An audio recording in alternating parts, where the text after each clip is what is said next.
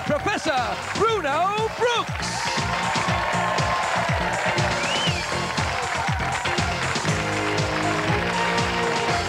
Good evening, ladies and gentlemen. It's love.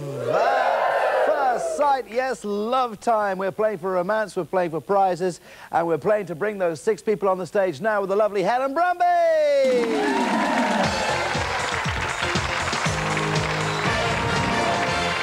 Very nice. Where do you get that from? Grattan's? No, a more expensive shop. Oh. Listen, you've got loads of competition on the show tonight because the guys are really gorgeous. Uh-huh. One's got the most hunkiest voice you've ever heard and body to go with it. Yeah. And another one likes to spin a few discs. So you better watch out. Oh, is he a DJ? He could be. Oh, I tell you what, I'll give him a run for his money. First of all, the three girls, give them a cheer. Here they are.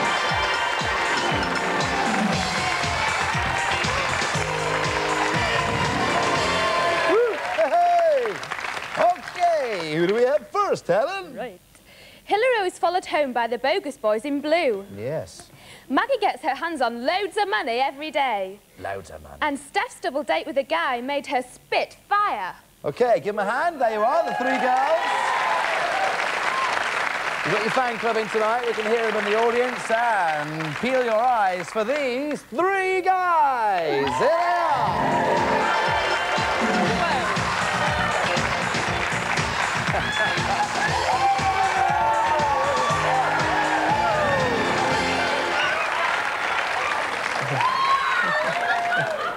Steph's got. Steph's got a hand over her mouth going, oh no! I can't believe it. All right, who's first then, Helen? Joe can tell Bruno what deep love really is. John signed several autographs because girls thought he was the best. Uh-huh. and Alan is a DJ who's going to give Bruno a spin tonight. Okay, give him a hand, everybody. Give him a hand. Well, don't you agree? I think we're going to have a very interesting show tonight. So we're going to have a quick chat with Hillary first of all. Hillary was followed by the bogus boys in blue. Tell us a little bit about that, very briefly. Hmm. I was coming home from a nightclub Yeah. half past two in the morning, and two guys are flashing in the car.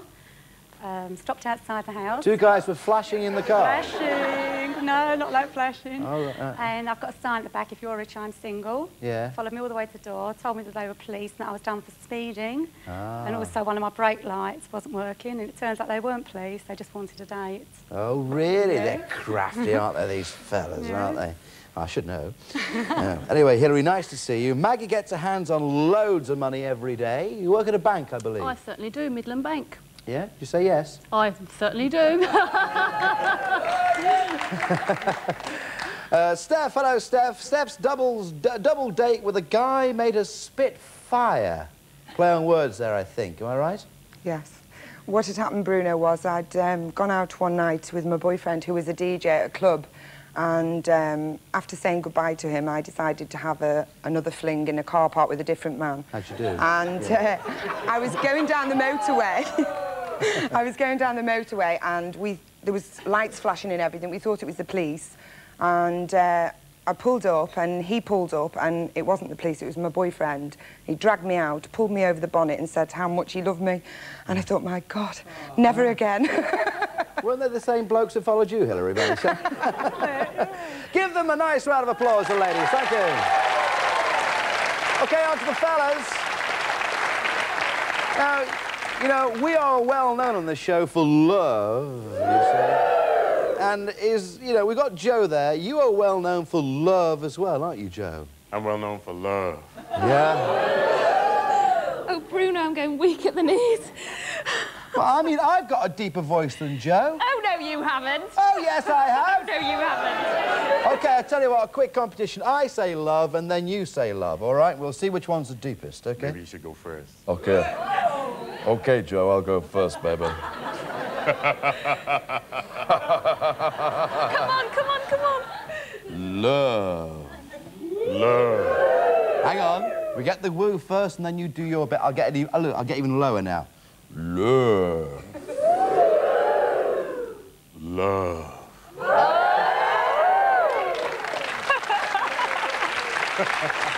All right, you're sexier. Hello, John. Hello. John's been mistaken for George Best before now. Do you think he looks like George Best?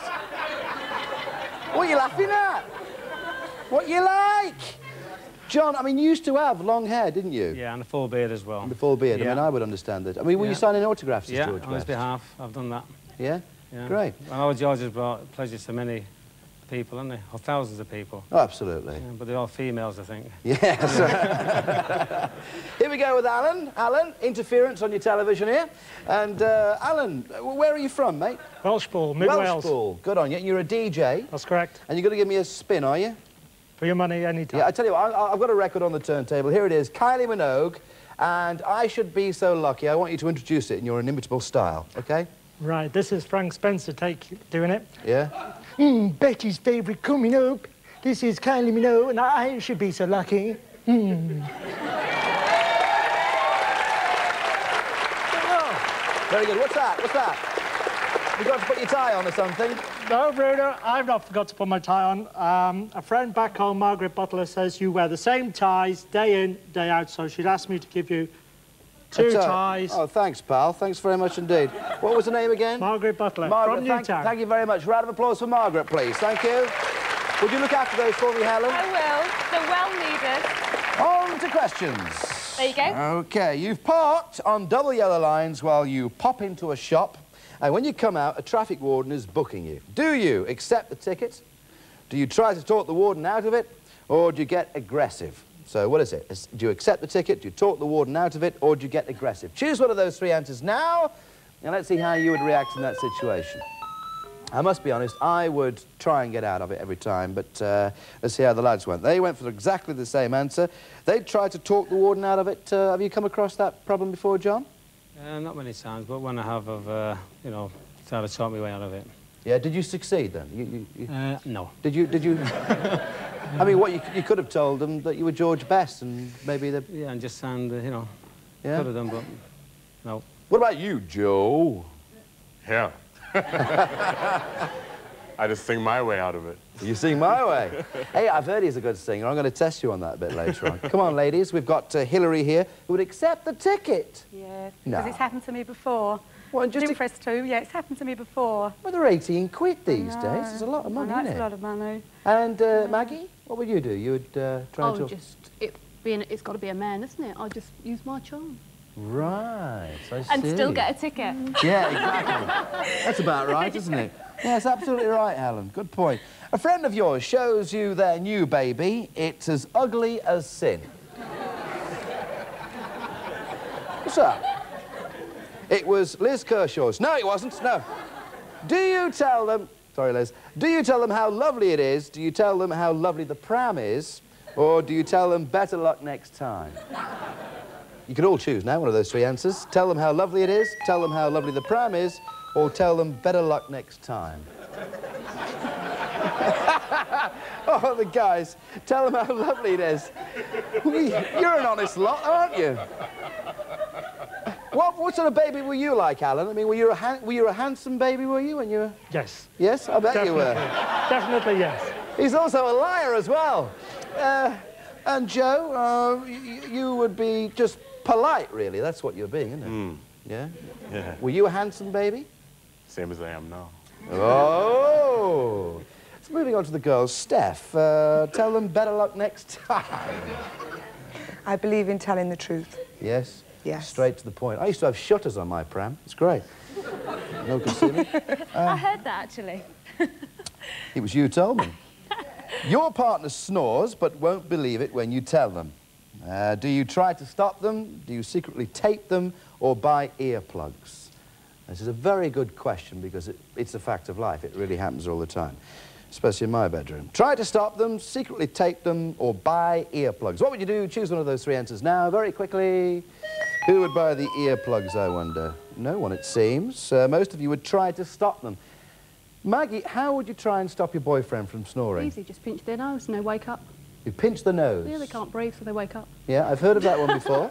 um, John, how would you stop your girlfriend snoring? Well, kick her out of bed, I think. Well, listen, you found out a bit about each other now, and I hope there's enough there for you to make your ideal choice, because that's exactly what you've got to do. Will we find love, I wonder, on the show tonight? All right, ladies, finger on button and make your choice for your gent now. I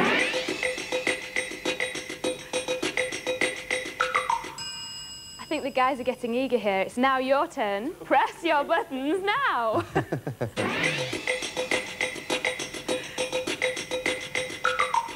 Very good. It's all been locked into the computer. The revelation in two minutes. Keep it on Sky One. See you in a sec.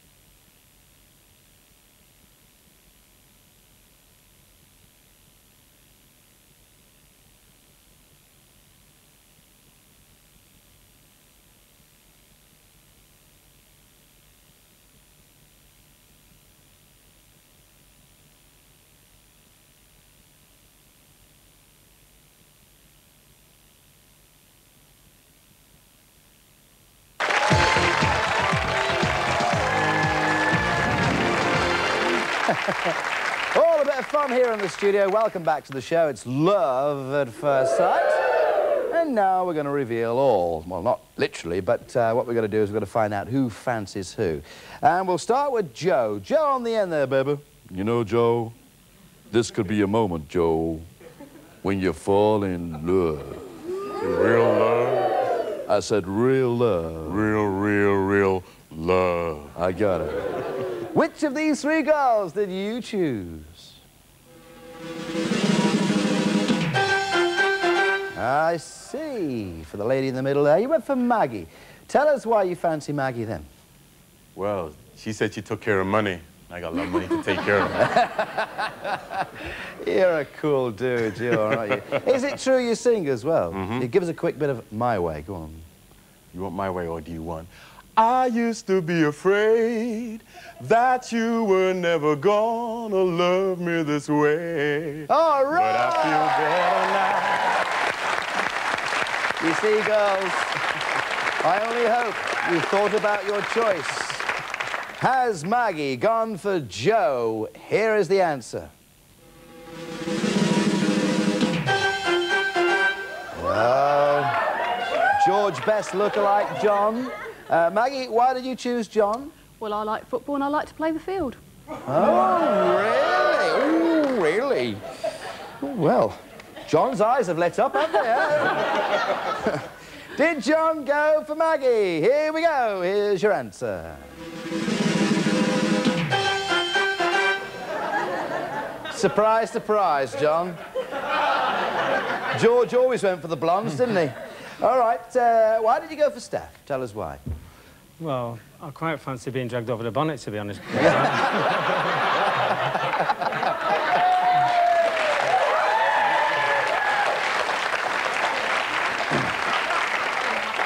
John wants to be dragged over the bonnet of a Spitfire car, ladies and gentlemen, watching at home. And uh, will he get his opportunity? He will if Steph fancies John. Here comes the answer right now. Will it happen?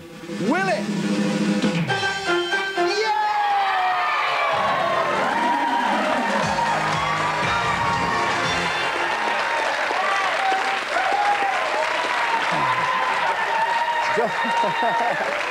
John, there is one thing. I know that Steph was talking about a Spitfire earlier on, but in fact, since that uh, occasion, she has changed the car. She now drives a Robin Reliant.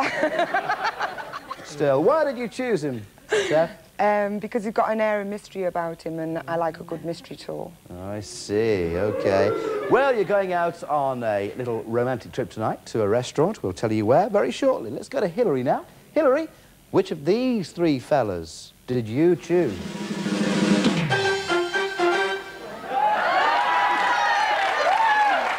I tell you what, Joe, do you want to swap seats with John? Why did you choose uh, John then? Because I'm a George Best fanatic, Oh, and yeah. he does look like George Best. He does a bit, yeah. doesn't he? It's in the eyes a bit Yeah, there. smashing. Lovely. You like Yeah, football as well? I do. Well, John's chosen, I'm afraid. He's, he's now with Steph. It's one of those things. But uh, still, let's go now to Alan. Here, little Alan here. On the end, which of these three girls did you choose? We want to know which one you fancied now, Alan. Come on, here we go. This is, this is uh, the answer. Same choice as Joe. You went for Maggie. Tell us, tell us why you fancied Maggie. Well, she can take into account my love anytime. Make Really? a firm deposit with it. Ah, he's a romantic. Give me a nice big arm and a round of applause. Lovely. We've got one matching couple on the show tonight. They are John and Steph. Come and join us. Give them a cheer. That's it.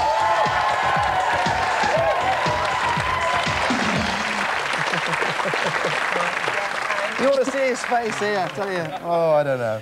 Listen, you know, it's all about six contestants on the show. It takes a lot of bottle to go on Love at First Sight. I want to say thanks to Maggie, also to Hillary, to Joe and Alan. You will be getting your passion pins as well. Give them a nice big cheer. They're great people. They're lot. It's lovely. Thank you. Well done. Right then. Where are they going, Helen? You're both going for a superb meal at the fabulous de Chinese restaurant. This wonderful modern restaurant employs authentic chefs from Beijing, China's capital city, which means you're in for an unforgettable culinary experience. But will it be an unforgettable romantic one too? Only time will tell. Yeah, all right. We can't wait to you enjoy yourself. See you next time. Give them a big cheer, everybody! Lot of fun on that, nice one. Let's go back to one of our previous shows now and remember when this couple fell in love at first sight. Oh, you can see the way she's she's sat. You know, she's uh, very polite. Good very deportment. Cute, very cute, yeah. And uh, what she was saying before, uh, I think on our wedding night, she she would be a very vital accessory to my wedding night. Absolutely. He seems like a really fun-loving person, and I could, I like a lot of fun as well. Vern is from Manchester, Judy is from London, and here they are on Love at First Sight!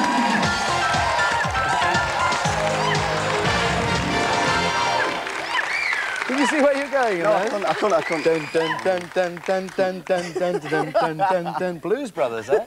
Is that because it was a late night, or...? It was a killing night. It was a killing night. Dancing till dawn. Yeah? Unbelievable. And your, your eyes are a bit like this, are they? Yeah, they're still like that. Which, Bruno. go on, take your glasses off. Let's have a look at you. Let's have a look at those lights. Ooh, yes. Just- oh, just they're not that just bad. Was he all right? Did, I, did Good like fun. him? Good fun. Yeah, what was, Yeah. The, what was his best asset? Um, good dancer. Yeah. Oh, great singer. Really? Brilliant. I didn't know he sung. I didn't know. In the he- I ear. told you that before. Oh, I see. Whispering uh, sweet nothings into the ear. And did you find Judy nice? yes, she's very nice. Uh, got on well with her. Yeah. Uh, had a lot of things in much. common. She didn't talk too much. I couldn't get a word in edgeways. What were you talking about generally all night? What, was- what was the, the one subject that, uh, that you both sort of clicked onto Me. very quickly? Um, no. Apart from Judy. Oh, we were talking about food a lot, actually, because uh, went to a nice Indian restaurant. Yeah. It was good fun. Uh, and the thing was, she was talking all the time, and the waiter kept coming back, and we never ordered. Yeah, it's crazy. And I bet there was one occasion last night when you thought to yourselves, or even said it, I wonder whether we'll win that love trip. That's right. Well, that's why you're here, and we've got our fingers crossed for you. So we'll see you in two minutes. We'll find out whether it happens. See you then.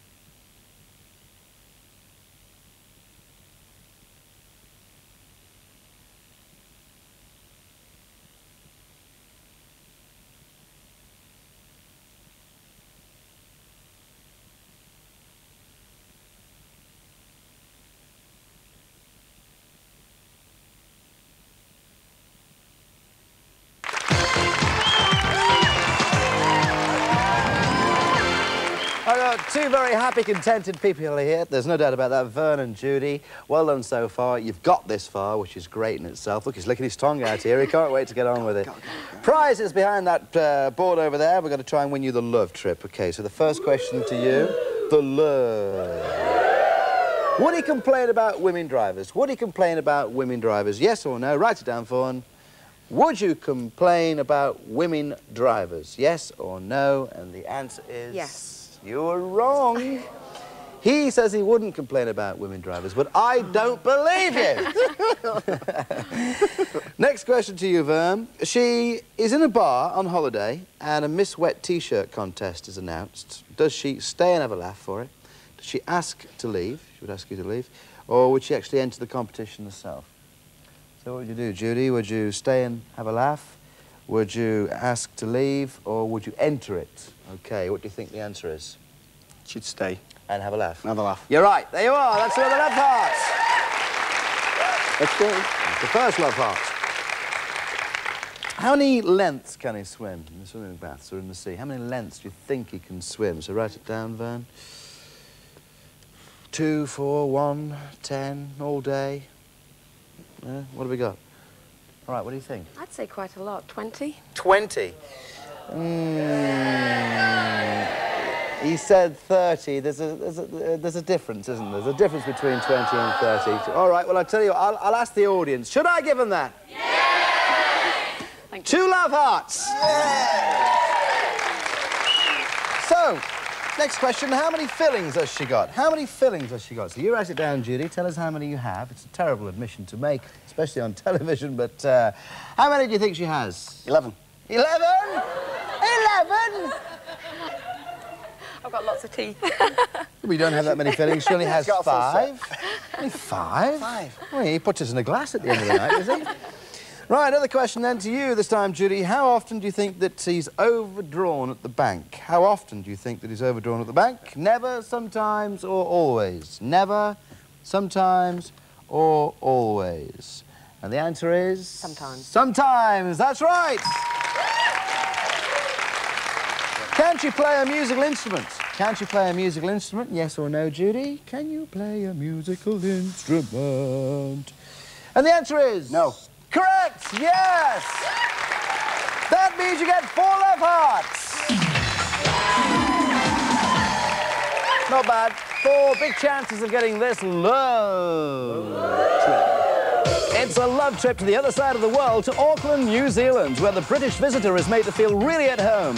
As well as all your creature comforts, you'll be able to take in some of the sights, watch the bubbling thermal mud baths, or thrill to a traditional Maori tribal display. And don't forget to display lots of love for each other on this terrific trip down under.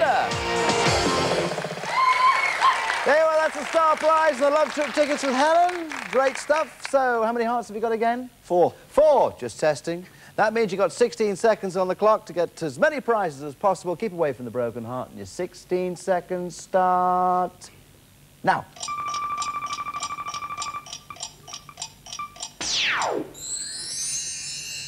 These bold ruby heart earrings from the Atwood collection are a glamorous accessory to any romantic occasion. With triple-plated 22-carat gold, you'll sparkle into your loved one's eyes. Very nice. Vern, what you always wanted, my friend. That's on, Bruno. OK, next one. Here we are. 12 seconds. Let's go for another prize. Go for it now.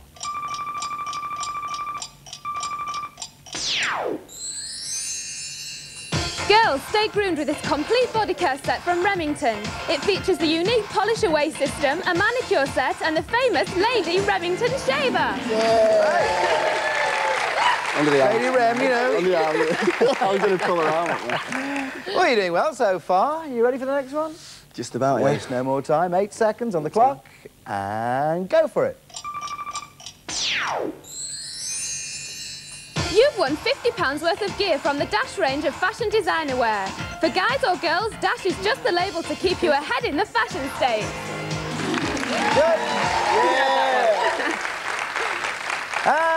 And shoot for the next one. Shaking now.